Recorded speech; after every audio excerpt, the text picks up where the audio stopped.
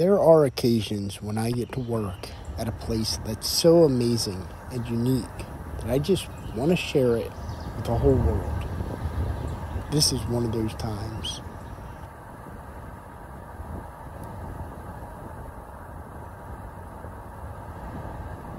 I was initially called in to rebuild a set of stone steps and see what we could do to save an old spring house.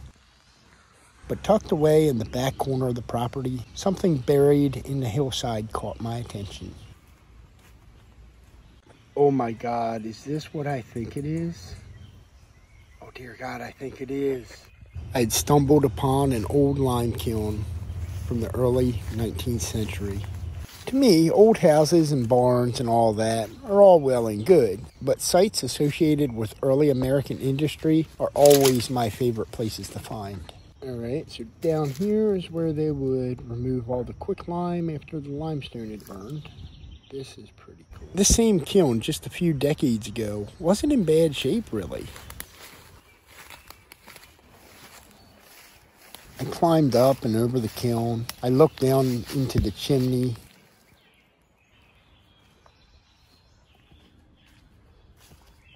And I carefully inspected the bottom again.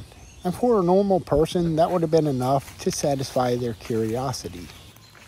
But I'm not normal, and I need to know more. Hardworking men almost 200 years ago put countless hours of their lives here, bringing tons of fuel and limestone to load in the top of this kiln. Who were these men, and where are their descendants today? What about the old lime quarry? Is this still out here in these woods somewhere? I guess we're going to have to go see if we can find it. The ground is badly cut up from a hundred years of quarrying limestone. I didn't expect to find the actual quarry though. Many old quarries are now filled with trash and covered over or full of water.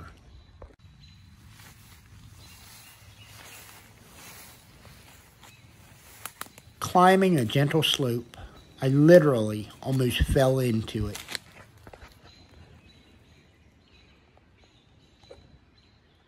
This abandoned quarry is massive. It's roughly 25 or 30 feet deep, covering maybe an acre of ground, which compared to modern quarries isn't much. But for something from the 19th century, that's huge.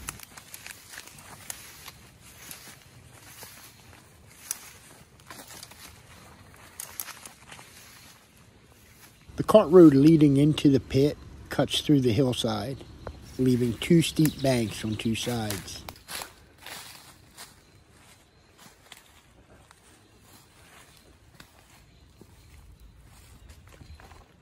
I followed this long abandoned and unused path right down into the bottom of the quarry. When I got there, I found myself in a place that felt like its own little world. The perfect place for an introvert like me. So who did all this hard labor? Were they slaves, wage earners, children? The census records actually gave us many answers. The quarry was owned and operated by a prominent local family. By 1850, the actual labor was being done mostly by Irish immigrants. I chose one of the dozen or so men that worked here between 1850 and 1880, George Crow, born in Ireland around 1820. He worked in this quarry in 1850, but had moved on to a neighboring state by 1853 and settled into life as a small farmer with his own family. He died young in 1882 and is buried near my own ancestors.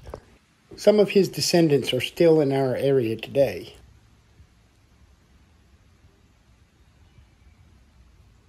While I was in the quarry, I actually gathered up some loose stones to see just how good this material is. It actually seems to have a lot of iron in it.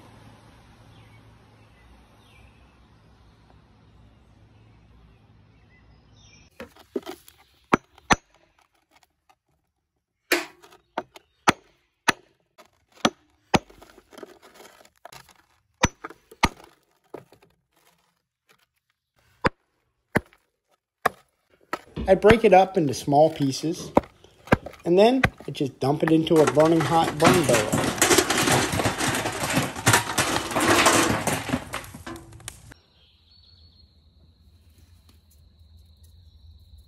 After it burns for a few hours and then cools, I splash it with water and wait.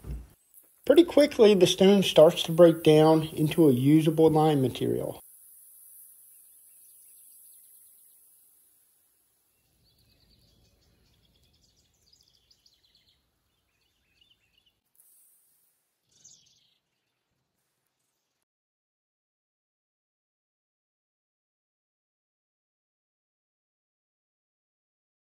For the first time in over a century, stone from this quarry has been used to produce cement for construction.